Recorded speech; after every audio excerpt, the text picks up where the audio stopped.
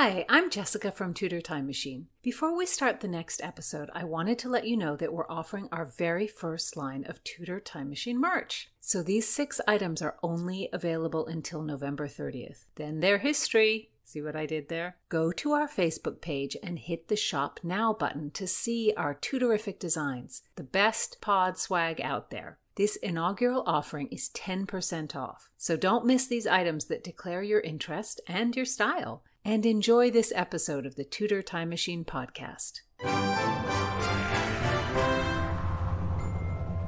Hey ho, Tudor minded people. I'm Gage. I'm Jessica. We're Tudor Time Machine, and this is episode 33 of our podcast. Thank you for joining us.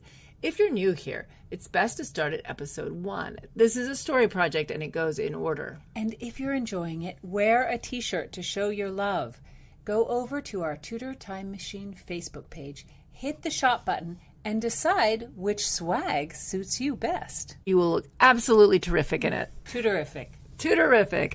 In our last episode, we saw Philomena and Constance go after that inventory of Wyatt goods. Now we're off to see Mildred Cecil administer justice among the young gents of Cecil House. After the reading, we'll have some fun discussing the history beyond our tale and making connections between then and now. Read on, Jessie. Chapter 33 Cecil House, in which Mildred Cecil averts a duel and wins a round. Her husband had foisted this George Wyatt on her. The fellow's mouth was dry, his tongue thickened, and she could not understand a word. It had already come to her ears that no one liked him, his pomposity mixed with a rat like wheedling, his too familiar, sorrowful gaze. Mildred pitied him, but not much. Her sister was making noises behind her. Was she crying? She was. At the hands of that Catholic Queen Mary Tudor, the Wyatts lost everything. Anne Bacon moaned. Sir George is a charming young man, the age of my own son. That was true. But her sister never checked her condemnation of girls who happened to be the same age as her own daughter, Mildred would try again to get at exactly what had happened to this Wyatt. Let us bring you a drink, sir, so I may better understand your words. And she watched him, his eyes darting to the ground, to the wall, to the door. He was like a lizard. He drank deeply, sitting before her at the other side of the table in this, her favorite room. This boy almost spoilt it. His mucus edged eyes and nose and mouth, the sun should glint from her prisms. Instead, it caught the bodily fluid, making it glint. George Wyatt unspooled his tale. The great Lord William Cecil had gone to much trouble so that he could take the inventory of his family's goods. He had so dreamed of discovering everything the family had lost. Blubbering overtook him for a moment. Arriving at Westminster Hall, the inventory had been removed. George shook his head dramatically. A clerk had told him that it was none other than the Earl of Rutland's pages who had taken it. Mildred was confounded, but she would get to the bottom of the hurly-burly. Rutland was sent for. Mildred well knew he would admit to nothing and laugh about it later. The Earl was intense, quick, and she must admit she had a soft spot for him, yet she had to discipline him so often. If his plots were more veiled, he would avoid being caught. Or perhaps he enjoyed being caught. Many a lad loved to be bad, even her own husband when he was young. Good day, ladies, Rutland bowed. Master Wyatt. George opened his mouth, and a torrent of flattery dropped out, until, rather out of nowhere, he snipped. My lord, few people knew I had such an errand to Westminster Hall. You knew, my lord, and you called me away.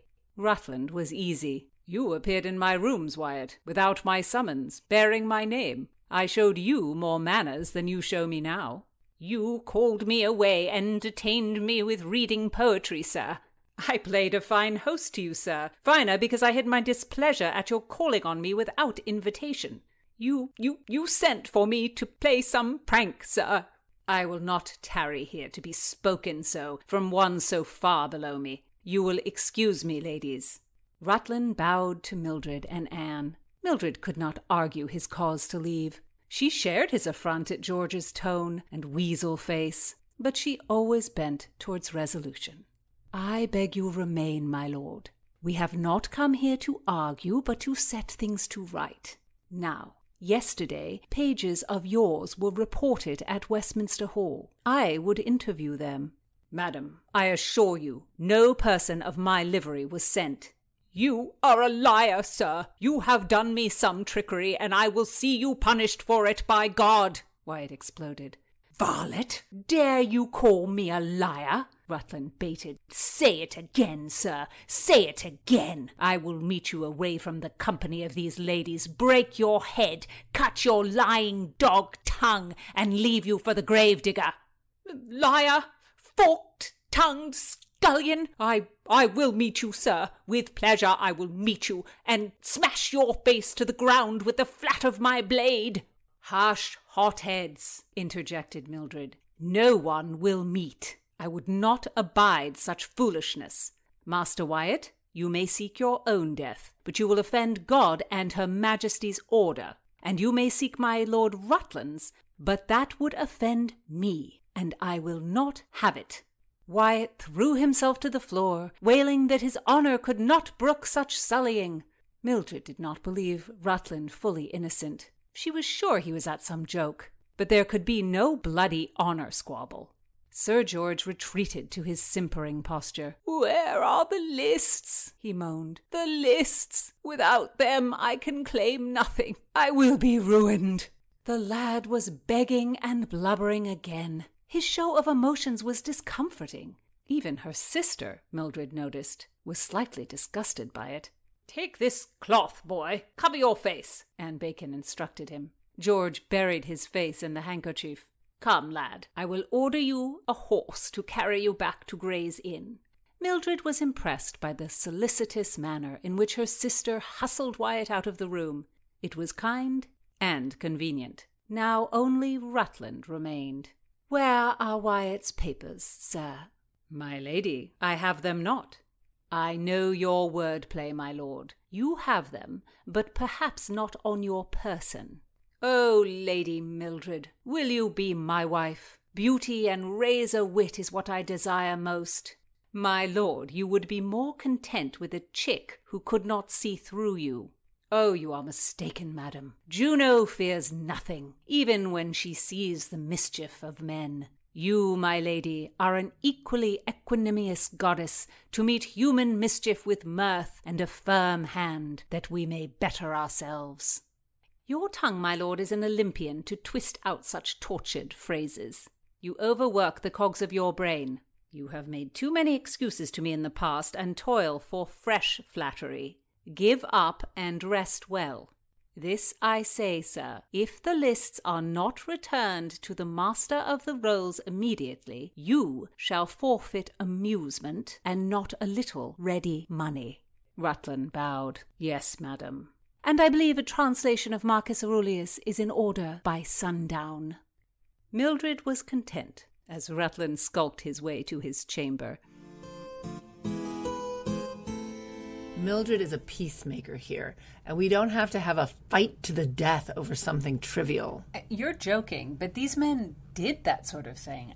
Small slights escalated into a fight that ended in in someone's death. It's unbelievable, really. Of course, it still happens. I mean, a bar fight turns into something crazy now. So it's true, but dueling, one on one combat, has an incredibly long history, all the way back to the ancient history, Rome and Egypt, too. But wasn't that a different sort of duel where one person from each army fought instead of the entire army? Well, you're right. One on one combat to solve a dispute with just two champions on the battlefield instead of an actual war is an entirely different thing. And that seems like a sort of good idea to me mm-hmm. in comparison. I agree. It also preserves the land and the economy and you know stops innocent kind of bystanders being killed maybe we should go back to that and since at the time they were sure the gods or God would intervene on the correct side, I think in some ways it was a reasonable solution. Not that we're really advocating one on one combat to solve problems. No, no, we are diplomacy advocates. There was also another kind of duel, a judicial duel. This argument between Rutland and George Wyatt is not a matter for the courts to handle. No, the courts weren't that crazy. Judicial duels in the Middle Ages had to have some sort of legal issue that the people involved wanted to have settled. And these duels happened when there was no other way to prove someone's innocence or guilt. So they essentially left it in the hands of the higher power. The judge wasn't going to make a decision. Mm-hmm. But if the crime and the perpetrator was obvious, such as someone stole something and then they had the stolen object, there would be no dueling necessary. The court would just decide. It had to be something that couldn't be proven any other way. A he said, he said. Then they would bring about a judicial duel. That is, a state sanctioned duel that determined guilt or innocence. And that the outcome was determined by a higher power. I mean, in the medieval period, God. Well, in the medieval period in the West. Yes. And sometimes they say fortune, but maybe that was just a leftover. Because they thought the fight was being controlled, that led to disagreement on how the fight should be interpreted. Some people thought the duelers or duelists could take advantage of an opponent's stumble, for instance, because God made the guilty party stumble, or if someone dropped their sword, it was decreed. But other people thought the fight should be fair and the end was determined by God. And you were cheating by not following the rules. I mean, obviously, also, there were all kinds of ideas about if you were a gentleman, the way you would duel and you would not take advantage of the opponent if they were unintentionally disarmed. And so there's kind of elements of being a gentleman in this. Yes. Too. You, as a duelist, should allow your opponent to get to their feet if you wanted to play fair and be chivalrous. But technically, you could stab someone who fell or attack if someone was trying to recover his sword if you believed that God made him fall. So if the sword was bent or broken, then the judge would decide whether or not it could be replaced. And if you are afraid of dying, I think there would be a strong incentive to attack the person who had fallen or who had dropped their sword. Yes, of course. Yeah, because judicial duels could be fought to the death. But I think for duels to be judicial and not a brawl, there have to be rules, and those rules have to be honored. True. And the winner could show mercy. If you were losing and the duelist who was winning told you to admit your guilt and you didn't, he was well within his rights to kill you. But you, as the duelist, could also let him live. These things could go either way. And judges did play an important role. If the fight ended in non fatal injuries or both duelers died, the judge decided the winner and what should be done with the property. Whose widow would get it? oh, the property. Would it go to the aggrieved oldest son or brother or nephew? Or, as you said, it could go to the wife if they specified it, or if the circumstances worked out in a certain way. Did you know there are recorded duels between a husband and wife up until the 12th century? Really? And what are they called? Are they domestic duels? No, they were also called judicial duels. And we have a drawing where both husband and wife are naked to the waist and bloody, and they both have swords. Wow. We'll post that picture for you guys to check out. Yes, but then it became illegal in the 1400s for a woman to beat her husband. But not illegal for him to beat her. Wasn't Chaucer's wife of Bath made deaf by her husband's beating? Her fifth husband? Oh, poor wife of Bath. Wife beating was sanctioned, and of course, it ended the judicial duels between husband and wife because the woman lost all of her power in the eyes of the law. I just don't even know what to think about that. no, there's a ridiculous love of single combat, and the most popular kind, and the kind our boys in this chapter would engage in, is the silliest of all the duel for honor. And these men's honors were very fragile. The tiniest insult would send them into a rage, and then they would demand an honor duel. A lot of this idea about dueling was because of this rediscovery of the classical world that, that, happened in the Renaissance. And two of the major players in that were Cicero, who was an ancient Roman, and his early Renaissance counterpart, Petrarch, who translated all of Cicero's letters and brought back a lot of the Roman ideals and ideas about the way to live and what, what was of value in life. And Petrarch is so instrumental in the push towards humanism and secularism. Yeah, because before this kind of reintroduction of classical ideas into Western Europe, the ideas about how to behave in the world and with each other and society, they were mainly given by the Catholic Church. And they placed, uh, you know, this high value on personal contemplation. But Cicero and a lot of the ancient Roman thinkers stressed participating in society. That was a Roman value, living an active life. So when all these translations of all these Roman and Greek ideas came back into Western thought, you know, people started changing the way they interacted with each other and the world. As society changed, people are always looking for sort of a popular way to understand that. You know, sort of a a popular an influencer, an influencer, no, an intellectual influencer. I, I, wouldn't say a philosopher, but no, no. Like in business, they always say that that's a thought leader. A thought leader. A thought leader. You're so right. We don't like the word philosopher. Um, so and we don't like the word influencer. that doesn't seem about thought. It seems about the way you dress.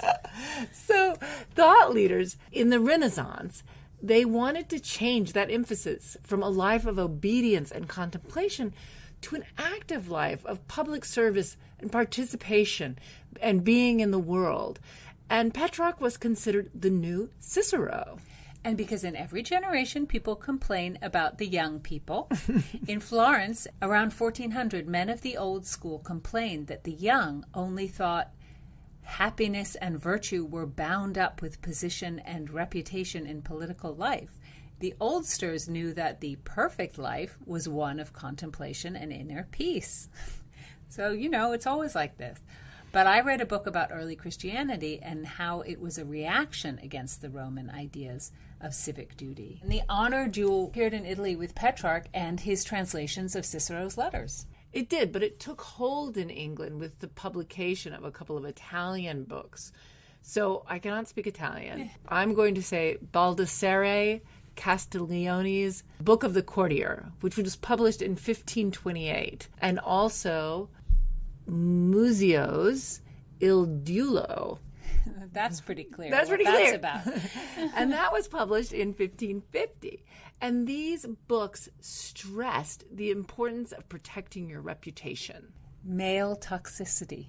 Isn't that what we would call it now?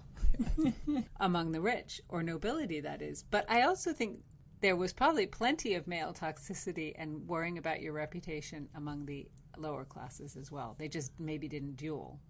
I agree. They didn't duel with swords; they dueled with their fists. Yes, they yeah. would have a bar like fight. people still do. Yes, there was a sense of fairness about the whole situation, though, which was you had to be noble, and you could only challenge another noble or a knight, sort of a low noble, to be technical about it. Right. I mean, there was an idea that if you challenge somebody who was it, that it was unworthy of you to be um, discredited by dishonorable words that might be given to you by a servant.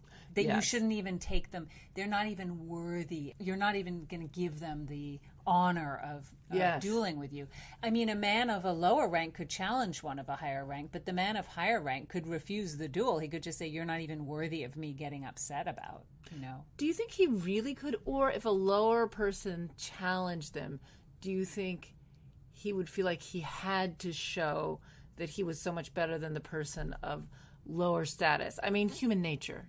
I think that when you read literature of the time, and even in the 19th century, where there was still, oh my God, were they obsessed with their honor? You know, I think there's a lot of this idea that to honor somebody by fighting a duel with them, you're sort of implying that you guys are on the same level, and that even to challenge somebody to a duel was acknowledging their position in your life that they what they said about you how they dishonored you was worthy of being taken seriously because they were of your rank. Yes, so a, a, lower person getting involved, in a way, it's flattering to the person who's lower in society.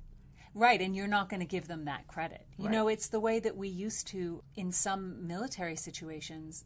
People of lower rank were literally not allowed to fight because fighting was considered honorable. Dying for your country was considered honorable, and people of much lower class weren't worthy of the honor of dying for their country. So I think there's a lot of ideas of violence and combat that are very much tied into being worthy of these what people considered honorable deaths. And there was a certain class that just wasn't considered worthy of that kind of honorable death. Even though it's been illegal forever. And even though it was technically illegal to duel for honor in the Tudor period, nobles did it all the time. they were trained in sword fighting and young hotheads. So, of course, they wanted to show themselves off. It's kind of like when you buy a 16 year old a Maserati and say, you know, go slow. Yes. I mean, it just, it's not going to happen. There were people who were dedicated to teaching young gentlemen how to fence, and fencing was incredibly popular. And there were these very, very well regarded and uh, well paid fencing masters. And actually, fencing masters charged for their services and they formed schools of fencing. Actually, they would give out belts, like in karate, to say someone had reached this level or that level. In England, a group was called the English Masters of Defense. And no doubt the historical Rutland and George Wyatt probably trained with one of these men. Yes, and it was Henry VIII who established the Corporation of the Masters of Defense. Right. So a corporation would have been like a guild, right? Like a guild. Yeah. So there was a guild, the Masters of Defense. Yes, Henry VIII established it as a guild, but Masters of Defense were around long before that. First Master of Defense they have a record of is Master Rogers. So he's in London in 1311 teaching nobles how to duel. Mm-hmm. And of course, there were how-to manuals. We've talked about how much The the English and the Tudors loved loved how-to manuals. hand, uh, the Tudors loved a how-to manual, and there were literally hundreds produced. Fencing was very, very popular, and as men who were not nobles got the idea that they would also like to be able to do it, and they began to practice, and it became more and more popular, and it became like a sport. Mm-hmm. And a good fencing match could close London for a day, and there would be other fights, wrestling. And so then wrestling and dueling began to be incorporated into plays. Right. So it started to appear in the theater. I mean, and think about it, there are so many duels in Shakespeare, serious and funny. Like I love that comic duel in Twelfth Night. When Sir Toby tricks Viola and Sir Andrew into thinking that the other is a great swordsman, I love that scene. No, I mean that Sir Toby is a troublemaker. But there were stage duels before that, and one of the oldest plays, Robin Hood, has a duel in it, and Robin Hood was performed all the time. And it was performed throughout the 17th century too. And people just did it. They had the basic story and then they just did it in the way they wanted to do it. It was popular with strolling players and everything. But, you know, everyone loved a duel in plays. And I mean, we still love violence in movies, right? And we still love duels. I mean, look at the movie Princess Bride. That has a great duel. My name is Inigo Montoya. You kill my father. Prepare to die. And the actors in that are great stage fighters. All of the playwrights loved a duel, but there were also exhibitions that were just duels. Mm-hmm. And no one knows how to corral spectators like. Burbage, who owned the Globe and partnered with Shakespeare, he had fencing masters produce exhibitions. Which is basically like stage choreography, right? A little bit? Yes. Yeah. Burbage would produce whatever people would watch, you know. On one hand he was doing fights, on the other hand he was doing theater. I mean he he had his hand in everything. But honor dueling thrived in England for hundreds of years. I mean, and just as you said, the last recorded duel in England was in 1852. I mean, I read a lot of 19th century novels. and if people want to duel in England, they go to the continent and duel. They go for the day and have a duel, and whoever survives comes back. That's what they would do. They, it wasn't as if people stopped challenging each Yeah. other to duels. In the US, Andrew Jackson still dueled, right? It, and of course, An- Alexander Hamilton died in a duel. It just, I don't know. It seems so crazy. It's weird to think that all this dueling was inspired by Translating Cicero. oh dear. Perhaps it would have been better if they hadn't. But you know what? People would have found a reason to kill each other. So it, it doesn't matter. we can't lay it on No, Cicero. we can't lay it on Cicero. Translating was a very democratic thing, actually, because it meant that people who didn't read Latin, who weren't educated that highly in Latin, could could read these great Roman thinkers. So if you could read English and translate these important texts, you could share them with anyone that could read. And these translated books, they were a kind of, uh, you know, seven habits of highly effective people, And they call that the most influential book of the 20th century. which I have not read. I actually have not read it either.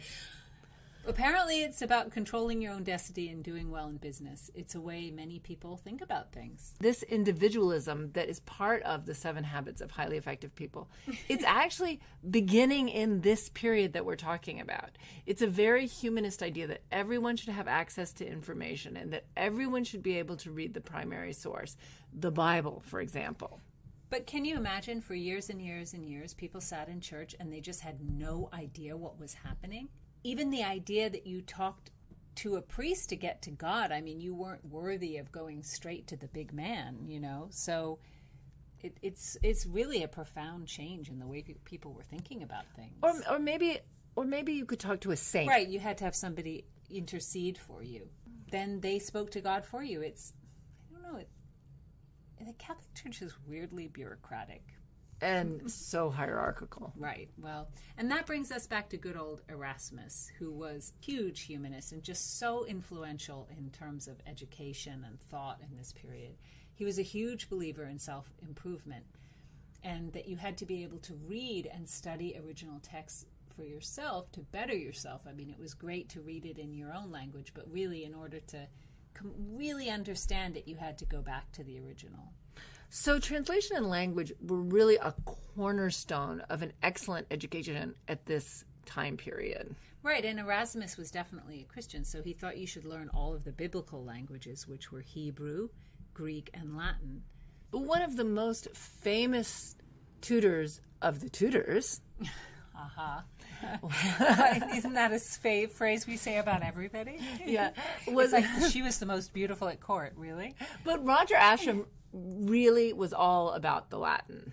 Right, and Ro- Roger Ascham wrote his Schoolmaster in 1570, and he describes this idea of double translation as the most important educational technique for youth. An exercise which would both make the pupils fine speakers, but also help them think clearly. And what is double translation, you may ask? So it's interesting because they always talk about Elizabeth and Mary and Edward. Edward Yeah. doing translations. But I always wondered are they translating out of Latin or into Latin? And the answer is both, mm-hmm. because they do a double translation. The student translates a passage into the language they are learning, Latin or Hebrew, and then the teacher corrects the student's translation. And then you take a little break, and then you look at those words and you translate them back into the original language so that you see, so that you understand how you would understand those words if you were putting them back into another mm-hmm. language. It does seem very rigorous, a real intellectual exercise. It does. Questioning the text you're reading and what would best describe that, and then what Latin you would choose to say what you have translated. It's very hard. Roger Ascham was an early critical thinker. And he was Elizabeth I's tutor, as well as many other royal children. And it shows that just because they were royal and being educated in a one on one way, it wasn't a cushy situation. Like things were expected of them. Oh, yeah. And that's evidenced by how incredibly well versed they all were in languages. I mean, Elizabeth, of course, loved languages and had her ladies in waiting do translations. Mm-hmm. We have some of Elizabeth's translations, and we still talk about critical thinking in education all the time. But in the next episode, it's back to bureaucracy. We're catching up with Philomena and Constance to see what is in the inventory of Wyatt's possessions. Will they finally find the relic? You'll have to listen to find out. And leave us a comment on Tudor Time Machine Facebook. There's always a lively discussion. And while you're there, check out our swank merch. Announce your interest. Get the Do You Tutor tea. it's so fun, and we would really appreciate your support. And tune in next time for more Times Riddle and more Tudor minded talk.